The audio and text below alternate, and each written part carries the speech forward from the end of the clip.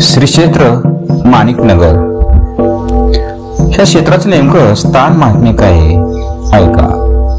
हुमनाबादच्या माणिकनगर या दत्त स्थानाची महती श्री माणिक प्रभूंच्यामुळेच लोकांच्या ध्यानात आली.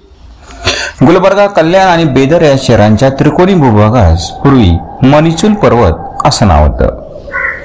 मणिगिरी असा उल्लेख या भागाचा गुरुचरित्रकार करतात. वृषभाद्री असे नाव या प्रदेशाचं कोठे कोठे आढळतं? वीरशैव अथवा लिंगायत धर्मपंथाचे संस्थापक बसवेश्वर याच भागातले. इतिहास प्रसिद्ध चंद्रसेन जाधवाने वसवलेली जयसिंह पेठ पुढे हुमनाबाद या नावाने ओळखली गेली. सदानंद पूर्णानंद शिवराम स्वामी याच बसव कल्याणच्या परंपरेतील याच पावनभूमी श्री माणिक प्रभूंचे अवतार कार्य झाले. माणिक प्रभू हे दत्तावतारी म्हणून प्रसिद्ध असून संगीतादी कला आणि भौतिक ऐश्वर्य यांनी शोभनाला यांचा सकलपद संप्रदाय आहे.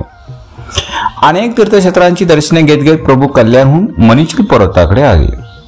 गोटम्म गोटीचे जंगल कडतानकल्लीच्या वक्क प्रभूंची समाधी आणि रेकुलीचा केतकी संगम अशी काही स्थाने प्रभूंना तेथील एकांतामुळे आवडली. बेदर झरणे नरसिंह ही स्थाने प्रभूंना आवडली आणि बेदरहून प्रभू कल्याणाकडे जात असताना हुमनाबादेच्या वड्यावरून गडवंतीच्या वाटेस लागले. बाबळीच्या काटरी झाडीत त्यांचा मेना अडकला. त्यामुळे त्यांना हुमनाबादच्या जवळ संगमावर राहावे लागले. कर्नाटकातील एक सत्पुरुष सर्वज्ञ यांनी पावणे तीनशे वर्षापूर्वी भाकीत केले होते. बसवाच्या वळेवर नवीन नगर होईल आणि माणिप्रभू या नावाची योगी येथे येतील. नंतर मोगलाईस नवीन वळण मिळेल. प्रभू ओढ्याचे काठी आहेत असे समजता सर्व बाजूंनी. लोक त्यांच्या दर्शनास येऊ लागले. ओसाड व निर्जन प्रदेश गजबजून गेला. तिथे इमारती तयार झाल्या आणि माणिकनगरची उभारणी झाली. प्रभूंनी चोरांना उपदेश केला.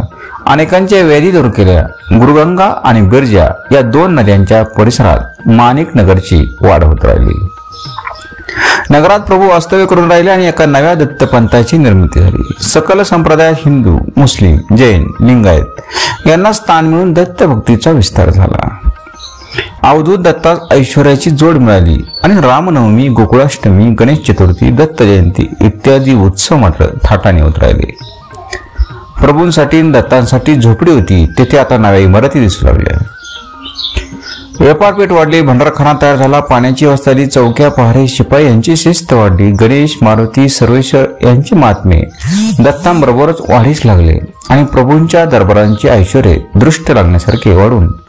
माणिकनगर हे नवे केंद्र दत्त भक्तांना आकर्षित करून राहिले.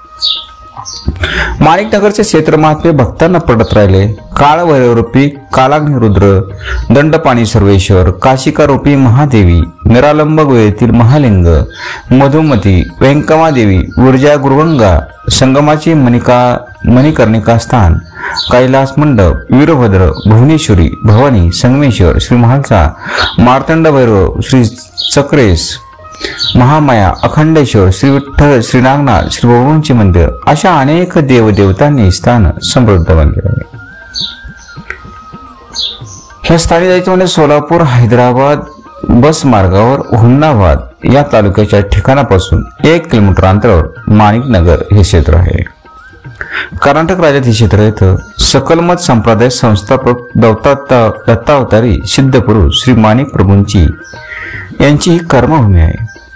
रामनवमीच्या दिवशी समय सद्गुरू दत्तप्रभूंनी बयाबाईंना माणिकप्रभूंची आई दृष्टांत देऊन मी तुझ्या उदरी पुत्र रूपाने जन्म घेईन असा आशीर्वाद दिला.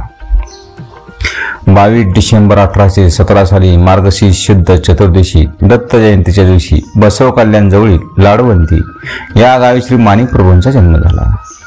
माणिकनगर बसव कल्याण बिदर या परिसरामध्ये प्रभूंनी अनेक अवतार लीला केल्या आहे त्यापैकी एक म्हणजे ज्याप्रमाणे श्री नरसिंह सरस्वती स्वामी.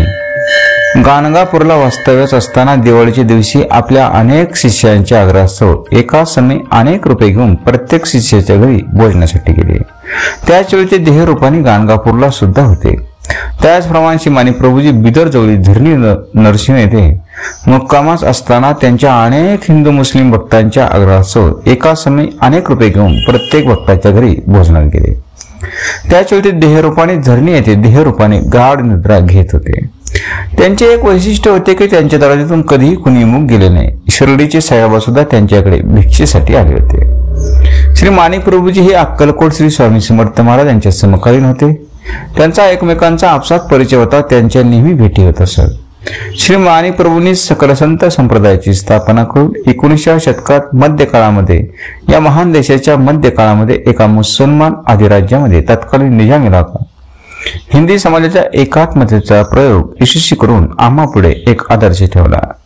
पुढे श्री रामकृष्ण परमहंसाने याच तत्वाचा उद्देश केला आणि महात्मा गांधींनी हेच तत्व करून आपली राष्ट्रीय ऐक्याची इमारत रचली.